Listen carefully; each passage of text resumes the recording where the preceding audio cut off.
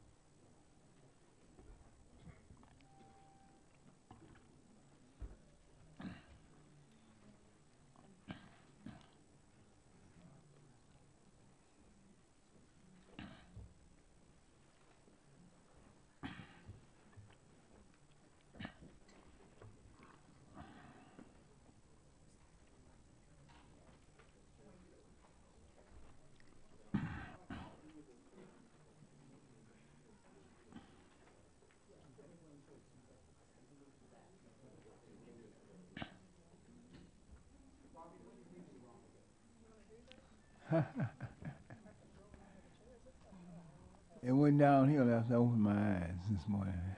Was-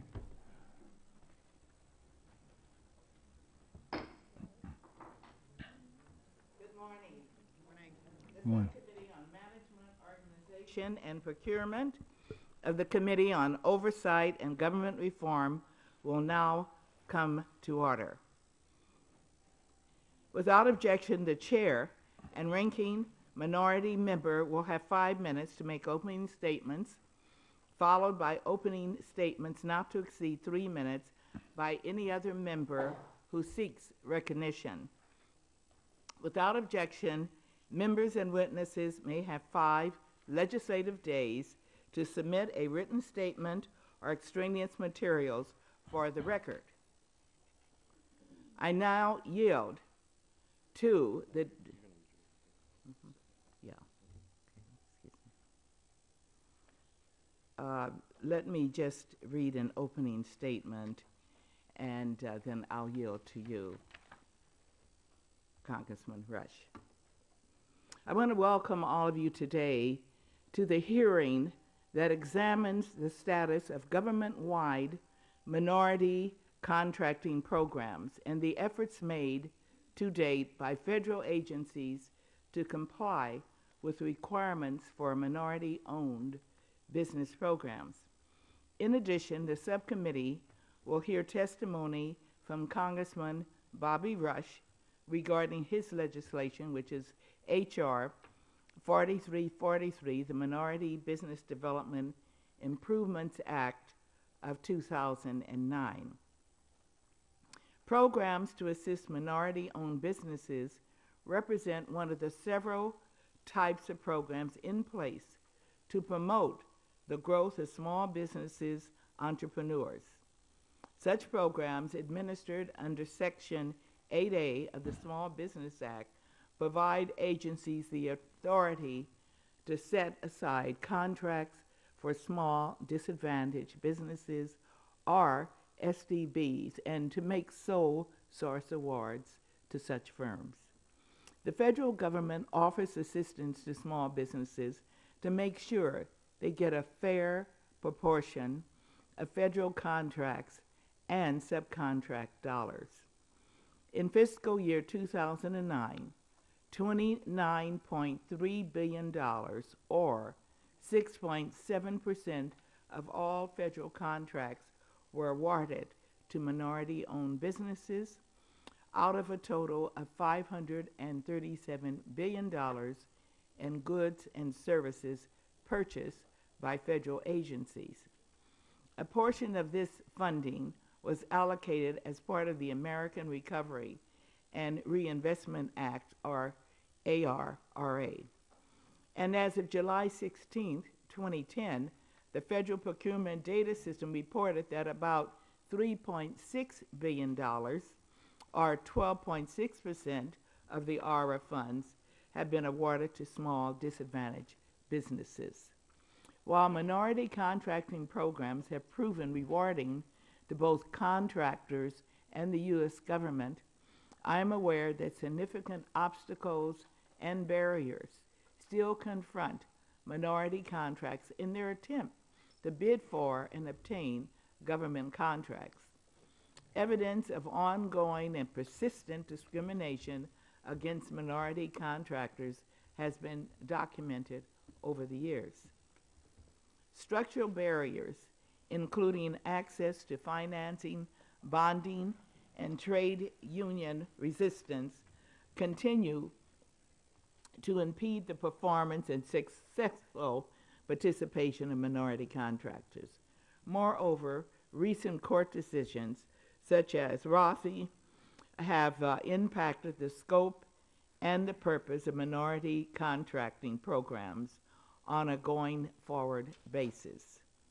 I'm very interested in hearing more specifics from our private sector panelists on how documented instances of discrimination have prevented minority firms from advancing in the marketplace, particularly because I do understand that it's often difficult for minority contractors to speak openly about these issues out of their fear that they will be ostracized.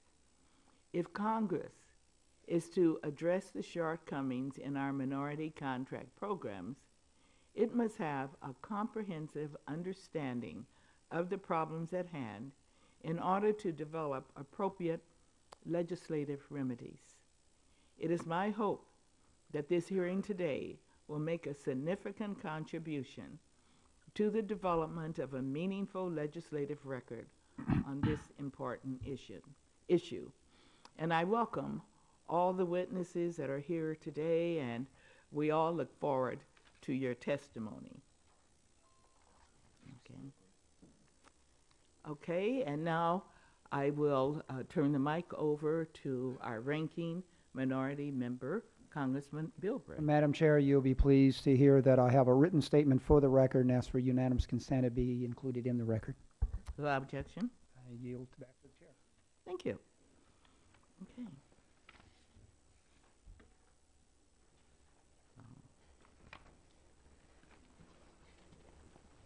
Okay.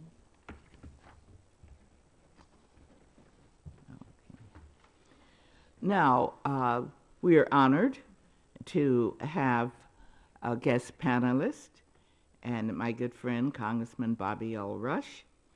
And uh, Con- uh, Congressman Rush was first elected to the United States House of Representatives in 1992 and is uh, presently in his ninth term serving the people of Illinois' uh, first congressional district. And he's a senior member of the Energy and Commerce Committee, where he chairs the subcommittee on commerce, trade, and consumer protection. Congressman Rush is the sponsor of H.R. 4343, the Minority Development Improvements Act of 2009. The legislation would establish a program providing technical assistance, loan guarantees, and contract assistance to qualify minority businesses. Also, the program would broadly resemble existing Small Business Administration, or SBA, programs for small businesses owned and controlled by socially and economically disadvantaged individuals, among others, but it would differ in its eligibility criteria and in the loan guarantees and contract assistance provided. Specific eligibility criteria differences include first, the size of firms allowed to participate, inclusion of certain groups presumed to be disadvantaged, three, higher economic and net worth thresholds for individuals seeking to participate, and four, limited eligibility for group owners to participate. And uh, Congressman Rush, uh, you may proceed with your statement. I want to thank you, uh, Madam Chairperson, Madam Chairwoman, uh, your stellar leadership on this committee and in other areas of the, of the House for the American people has not gone unnoticed. You are heralded from coast to coast as being one of the uh, key and one of the most effective members of this Congress. I want to also um, say good morning to my friend for many years. We were elected together in 1992. Uh, he took a vacation, uh, wisely so, and he's returned. Uh, Congressman, Congressman Bilbray, it's so good to be with you and be before you uh, this morning. I would also extend um, my uh, note of you being one of the most effective members of the House of Representatives, but you are from the wrong, from a different party, so I can't give you those those accolades. uh, but it's good to see you, my friend. To all the members of the subcommittee, I am so delighted to be here. I want to thank you for inviting me to testify before your subcommittee on this important uh, hearing on minority contracting opportunities and challenges for current and future minority-owned businesses. During the first half of 2009, Congress took extraordinary steps to turn the nation's economy around and create jobs that will fuel our economic recovery. Many states have already begun to distribute contracts. However, across the country, minority owned firms are being shut out of the process because of what I call artificial barriers that I believe that this Congress must simply break down.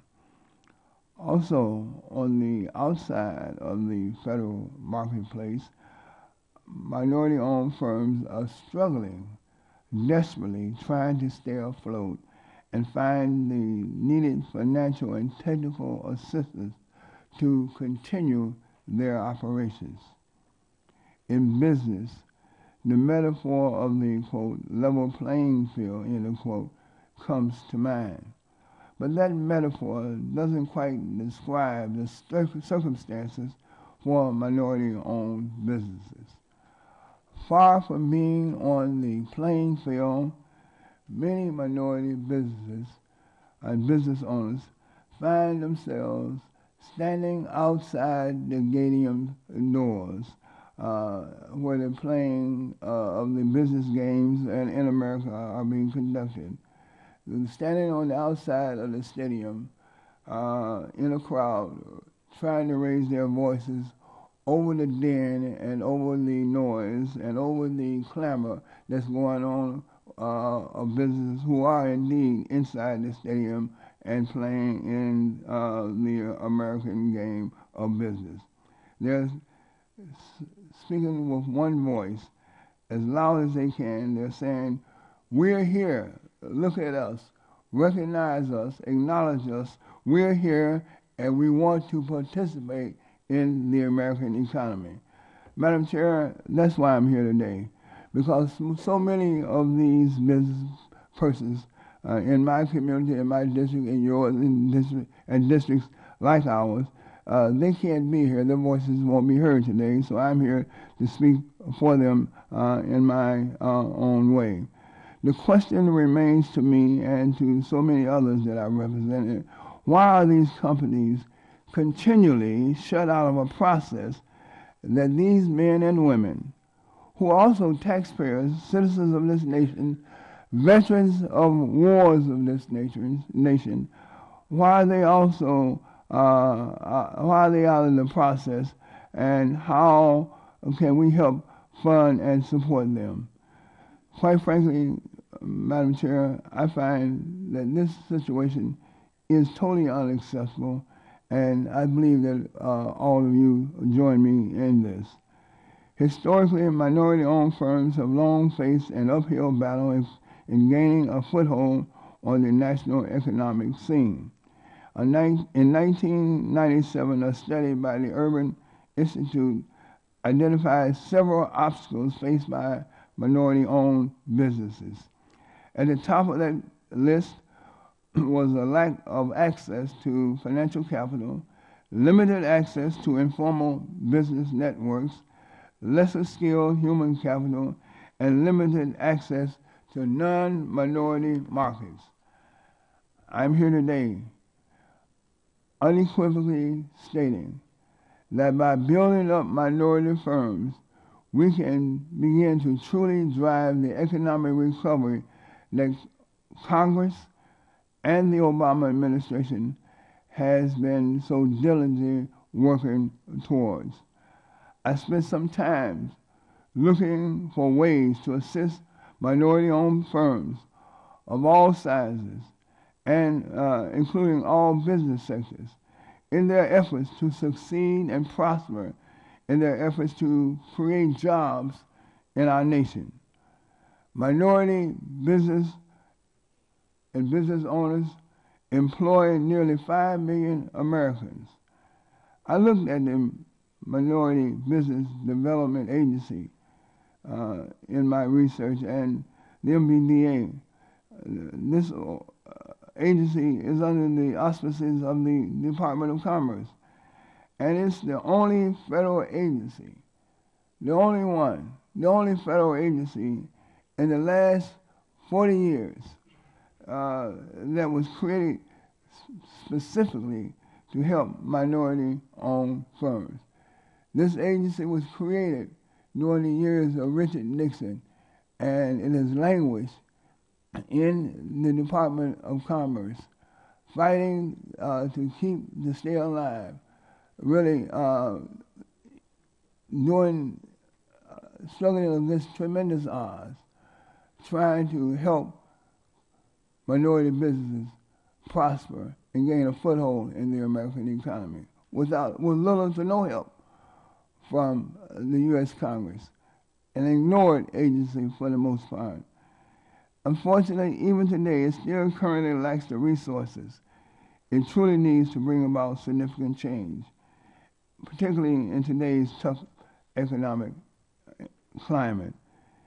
If there ever was a time when this agency, given its mission of 40 years ago, needs to be strengthened, I say the time is now. There's no better time than now. Now is the time. To that end, I introduce my bill, H.R. 4343, the Minority Business Development Improvement Act of 2009.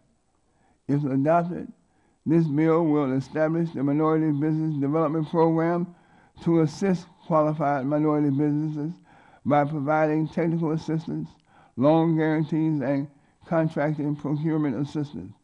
The bill authorizes the director of the MBDA to certify any entity as a qualified minority business that satisfies each of the eight criteria outlined in the bill.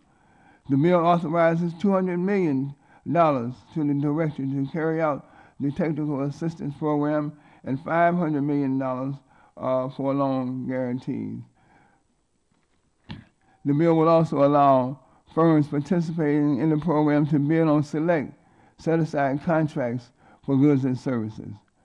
Ladies and gentlemen, brothers and sisters of this committee, I believe that it's time to bring the Minority Business Development Agency to the forefront of our nation's economic recovery. And I'm sure that other witnesses at today's hearing will concur with me.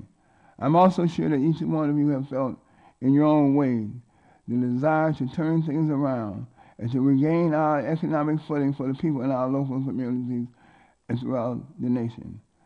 Madam Chair, I urge members of this subcommittee to join me uh, in an effort to create a viable platform for minority-owned business development. Again, I thank you for giving me this opportunity to address uh, this uh, auspicious and, and, and this very important committee of the U.S. House of Representatives. And I thank you, and I am available for questions if you might have. We want to thank you too for bringing this issue being persistent on this issue over a period of time to our attention. Mhm.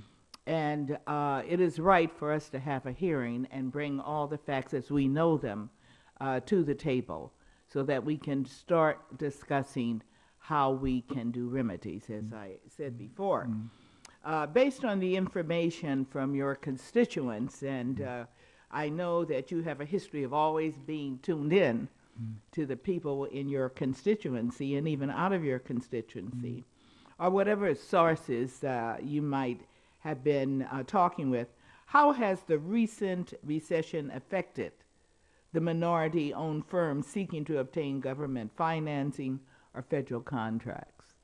M- Madam Chair, uh, thank you for the qu- great question.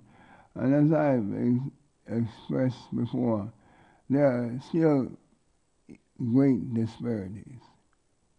Uh, Do you, do you have kind of a percentage? Let's just take within your district, what would you say uh, the percentages would be in terms of those receiving contracts? Well, it's, it's very paltry.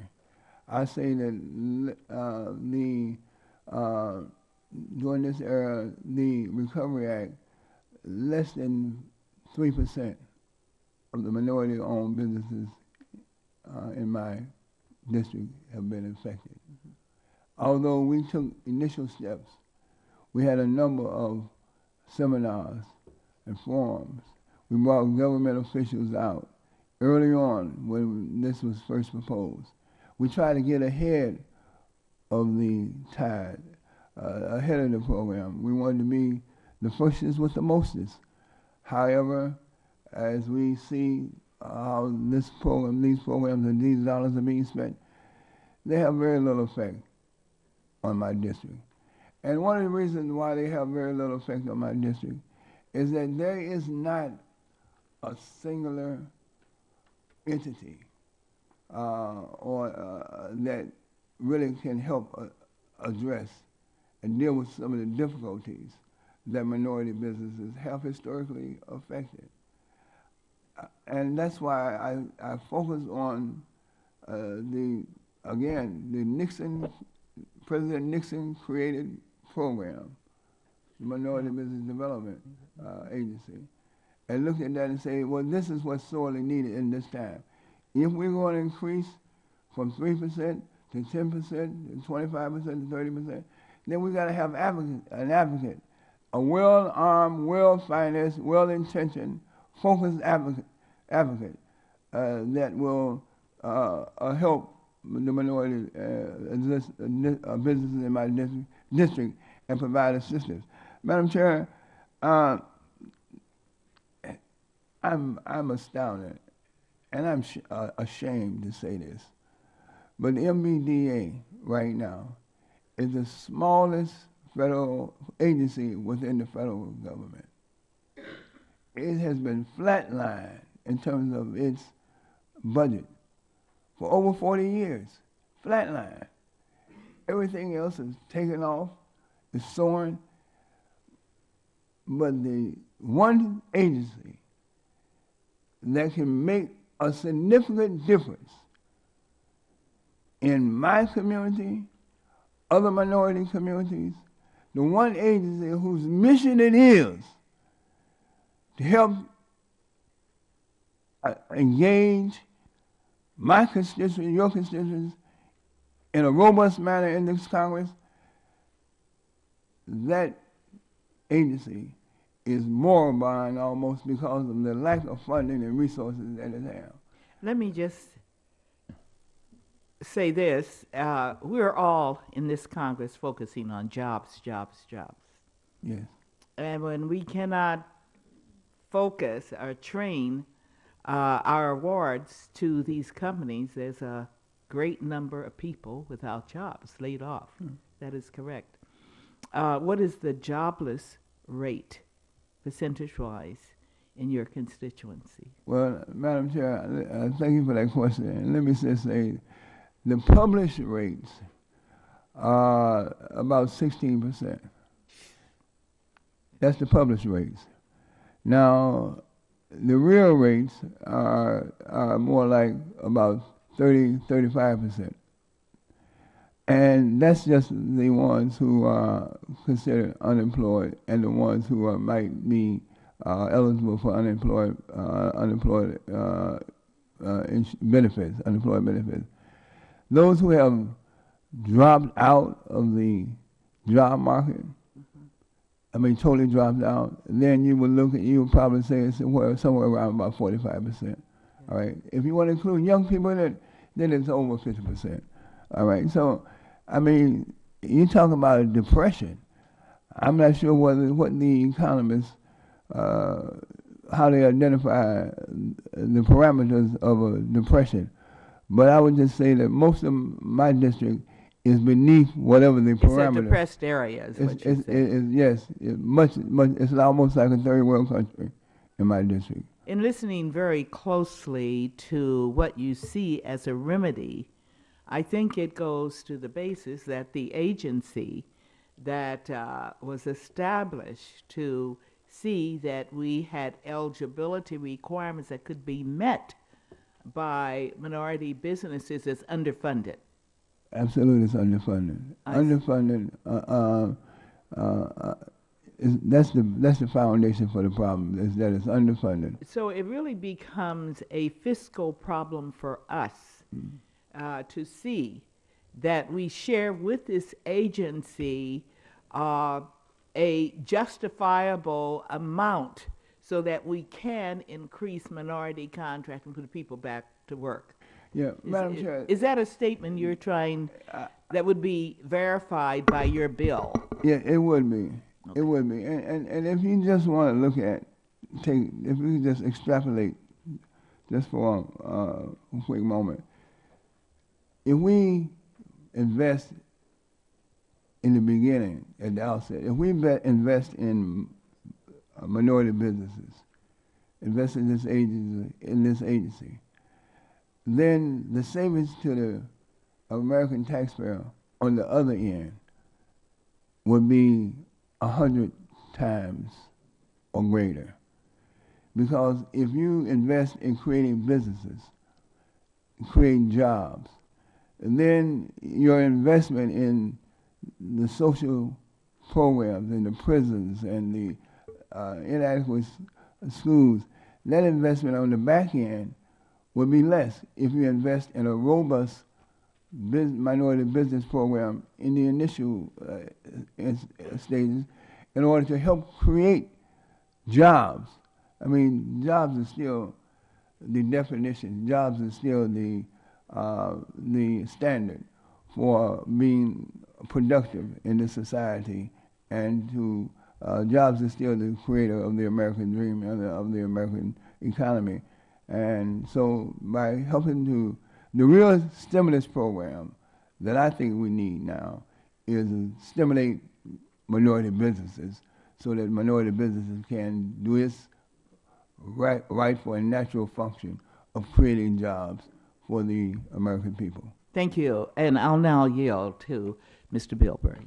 Congressman, thank you for your kind words. Let me just say, as somebody who was born and raised in a working class neighborhood, one of the things that frustrates me so often is, first of all, a lot of people come into our communities that are distressed and see the unemployment, see the the redlining. I still remember this one company, this one bank that I caught um, when I was mayor of a small town, and said uh, uh, that the 7-Eleven being built in my community would get half the revenue and be twice as expensive as the same 7-Eleven being built in another community. Now, I can understand half the revenue or reduced revenue because of our economic situation, but twice as expensive.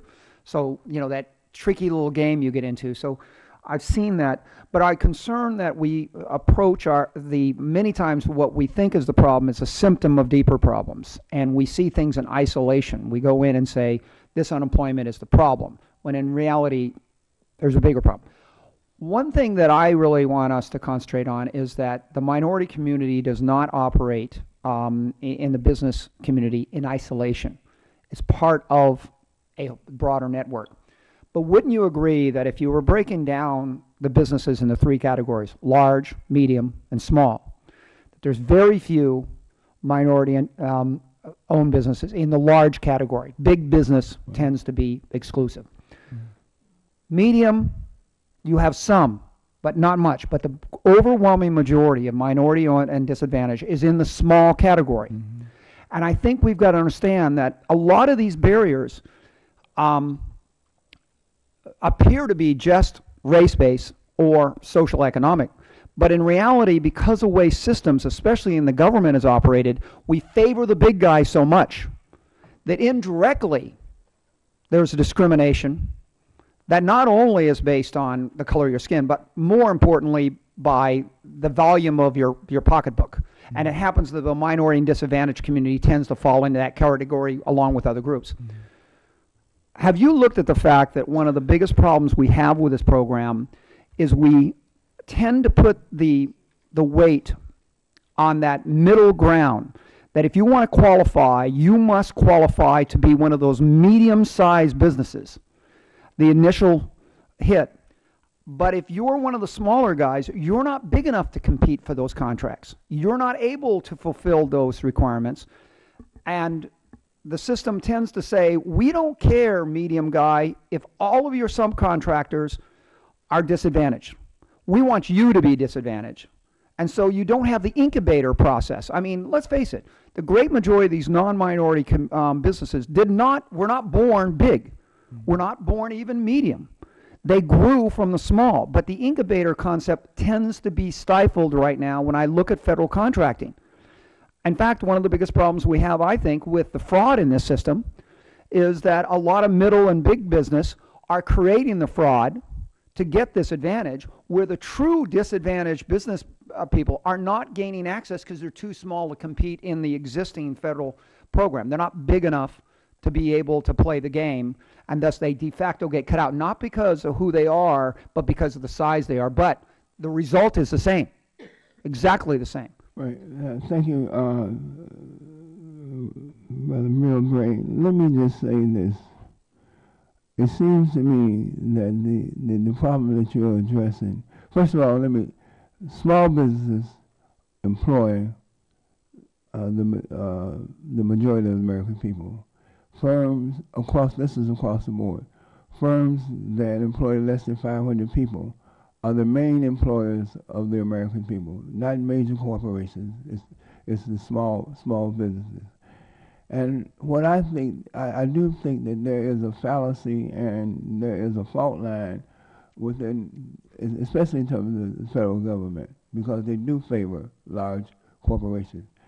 And I think that, that, certainly addresses why there's such a need for the MBDA, because we have got to change the uh, thinking pattern, the mindset of the federal uh, procurement community so that they will go out of their way rather than discriminating against small businesses, that they will have, uh, uh, they will switch the paradigm uh, and, and, and start thinking in terms of that small businesses should be a premium, should be the, the priority for federal procurement.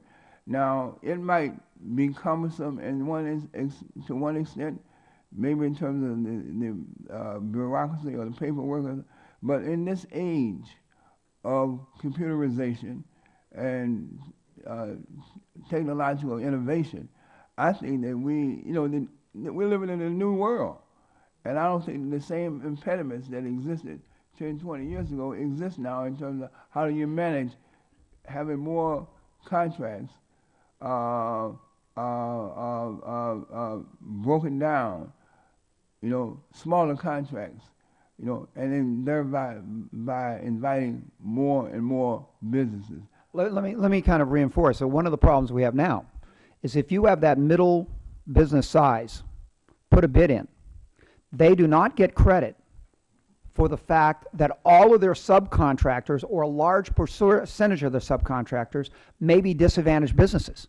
When so what happens is there's not the incentive to help incubate and grow the small into the medium to where you have an you have the ability to compete in there. It's like we look at whoever's the bidder and we don't look at where their supply chain is. And you and I know from the employment point of view, just from the workers in your district, if they're hired by a subcontractor who's doing the government project, that is just as good a job as if they're hired by the, the guy who got the contract originally. But we're not right now giving any credit for those middlemen or the, the guys who are getting the bid of literally incorporating the small guy, the small guy into it, um, and, and making a special effort to go out and get those disadvantaged businesses into their proposal. And I, I really think that there's a real missing link to build this foundation. This kind of economic prosperity doesn't happen overnight. It's a, it's a, it's not just a political and a, a government thing, it's a cultural thing of people getting in the habit of giving people a chance to bid and compete in there and rewarding them for taking the effort to go do that. Right now, I run into situations of frustration where a lot of guys are telling me I can't I don't even get credit if I go out and recruit this on a lot of these contracts. And I I think that's one of the things we got to be frank and open about. Just because it appears that we're playing a game by setting it aside the outcome doesn't reflect reality and the outcome proves to us what we've been doing traditionally is not not doing it right. And i think we should be willing to shake it up a little bit and try these new things of saying you got a contractor who has done that outreach into the minority community and got subcontractors he should get credit and get and, and be reflected in a benefit to him for going out and recruiting and getting and in, incorporating and integrating those those subcontractors into into the process and empowering the the disadvantaged businesses to start growing. And I think guess that's a critical component. And I know it sounds like an abstract, but if you're going to create the jobs, you got to make you got to change the system. Well, my only response to you, uh, Mr. Bilbray, is that let's shake, rattle, and roll. Uh, I'd like to introduce one of our colleagues, Judy Chu, California, uh, for sitting in with us this morning. And uh, you probably didn't hear the opening statement, but I know that you understand the subject matter. Would you like to make a comment? I'm just uh, happy to be here to pursue the issue of uh, improving our minority contracting uh, opportunities, and uh, I'm glad to hear the testimony, and um, I, I, certainly uh, support uh, Congressmember Rush's efforts in doing so. Thank you so much for joining us this morning. Um, and thank you, mm-hmm. Bobby Rush, yeah. for being consistent and staying on us until we had this hearing. We appreciate it so much. Thank you very uh, much. Man. This will conclude uh, the testimony for Congressman Rush, and uh, thank you again. Thank you and so uh, I would like uh, to invite our second panel, but before you come up, uh, will staff bring the chairs back? And we will call up the second panel that is composed of David Hinson, the Honorable uh, Marie C. Johns, uh, Mr. Ji Young Park, Linda Oliver, and Brandon Neal.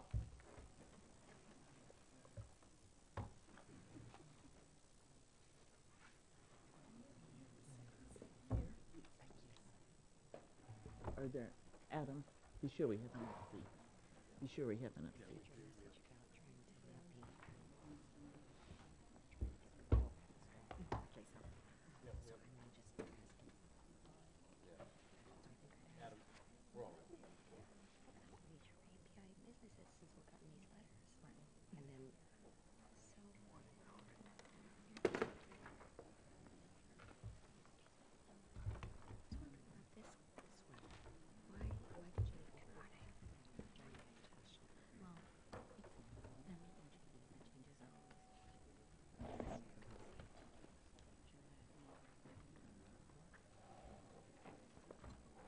right? It's the policy of the Committee on Oversight and Government Reform to swear in all witnesses before you testify, and I'd like to ask you to please stand and raise your right hand.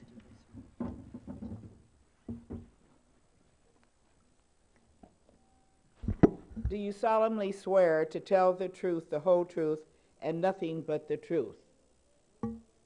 Say aye. With that, you may be seated. And let the record reflect that the witnesses answered in the affirmative.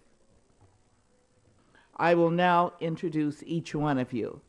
Uh, Mr. David Hinson is the director of the Minority Business Development Agency at the Department of Commerce.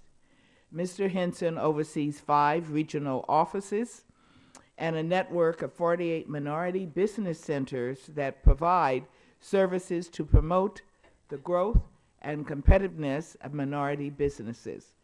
Prior to this position, Mr. Hinson was president and CEO of the Wealth Management Network Incorporated, a multi million dollar independent financial advisory boutique.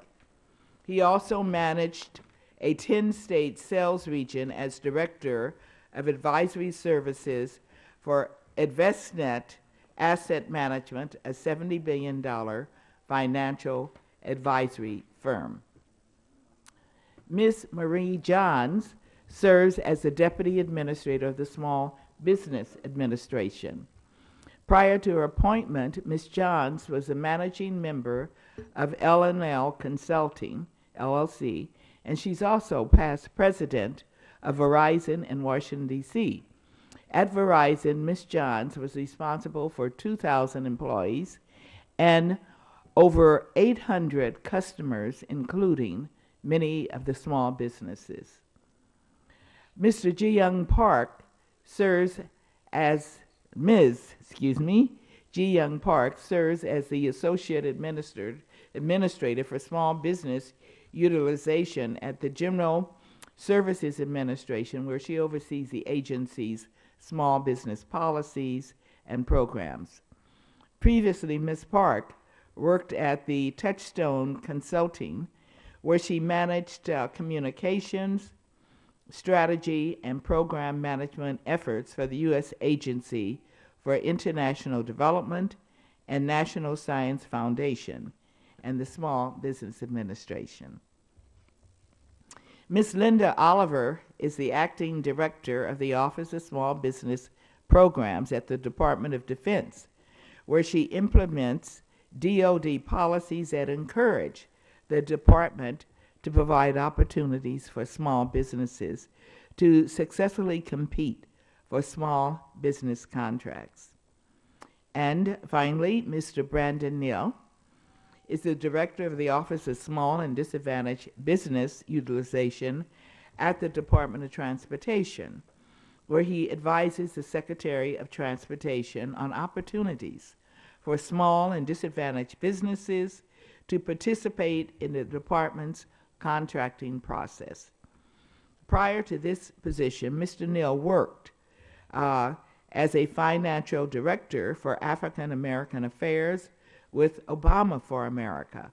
And he also worked for the Democratic Governors Association as deputy political director and later as director of extended affairs. I ask that each one of the witnesses at the panel now give a brief summary of their testimony and uh, to keep this summary under five minutes in duration, and I know you can do that. because your complete written statement will be included in the hearing record. So I'd like to start with Mr. Hinson. Uh, please proceed. Chairwoman Watson, Member Bilbray, and members of the subcommittee. Thank you for inviting the Minority Business Development Agency to appear before this subcommittee. I request that my entire written statement, including attachments, be entered into the official hearing record. For over 40 years, MBDA has been working aggressively to expand the economic footprint of minority business enterprises, or MBEs. At the time of the agency's creation in 1969, there were approximately 322,000 MBEs that generated $10.6 billion in annual gross receipts. Today, according to the recent released numbers by the U.S. Census Bureau, the number of MBEs stands at 5.8 million, generating $1 trillion in gross receipts. However, while the recent numbers are encouraging, there is still work left to be done. Discriminatory barriers continue to persist, which impede the ability of MBEs to access the federal marketplace on an equal footing with non minority owned and operated businesses. I am submitting for the record as Attachment A to my testimony a document entitled The Compelling Interest for Race and Gender Conscious Federal Contracting Programs, which details these barriers as well as a number of disparity studies. MBDA is working to eliminate these barriers, acting as both an advocate and facilitator for minority owned firms seeking to gain greater access to the marketplace, including but not limited to procurement opportunities with the federal government. A great deal of work takes place in MBDA business centers located across the country and in Puerto Rico. The centers provide technical assistance to improve MBE competitiveness at securing both public and private contracts, in addition to promoting joint ventures and teaming arrangements, as we recognize some contracts are too large for one firm to, compete, to complete for alone.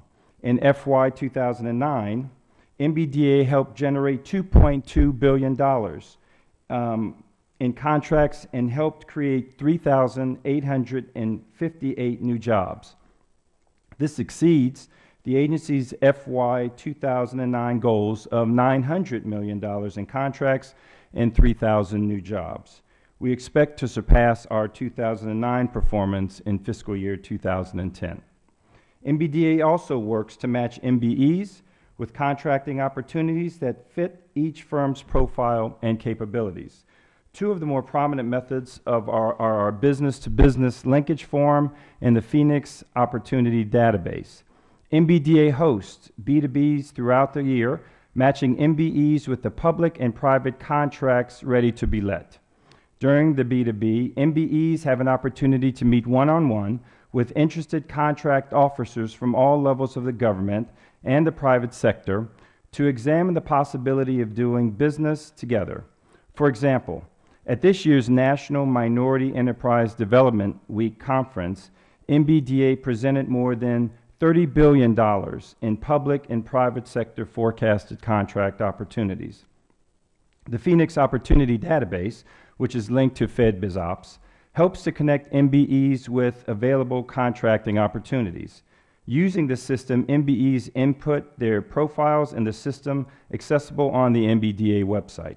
Contracting officers throughout the federal, state, and local government can use this system to upload notices of their federal contracts into the MBDA Opportunity Database. The system then matches each opportunity with MBEs meeting the requirements of the solicitation. The lack of access to capital has often inhibited the ability of MBEs to compete for federal contracts. In January of 2010, MBDA released a report titled Disparities in Capital Access Between Minority and Non Minority Owned Businesses The Troubling Reality of Capital Limitations Faced by MBEs. This report, which examines the issue of capital access, accompanies my testimony as Attachment B.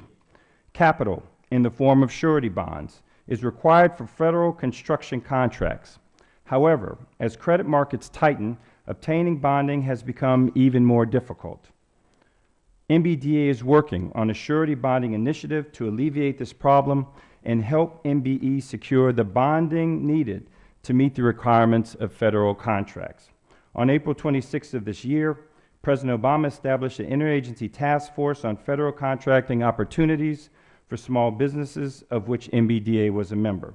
The task force was charged with providing recommendations to the President to help ensure that small businesses, including minority owned businesses, have fair access to federal contracting dollars. These recommendations include addressing the issue of contract bundling, contract, subcontract planning, and identifying ways to increase small business utilization in prime contracting. MBDA was honored to serve on this task force and work with our colleagues to implement the recommendations put forth. So, in conclusion, MBDA will continue to take an active role in eliminating barriers faced by MBEs in our federal marketplace. MBDA is creating a government contracting unit under our Office of Business Development. This unit will be comprised of experts focusing on assisting minority owned firms in, exact, in uh, accessing contracting opportunities. We anticipate having this unit operational in the near future. Also, the agency is working closely with Secretary Locke in establishing a National Advisory Council on Minority Business Enterprise to advise the administration on issues pertaining to the growth of minority-owned firms, including access to federal contracts. MBEs are a critical part of this country's economic infrastructure, and it is in federal contracting that many will find avenues for growth. MBDA looks forward to working with Congress to help create more entry points into the federal marketplace for MBEs. Thank you, and I look forward to your questions.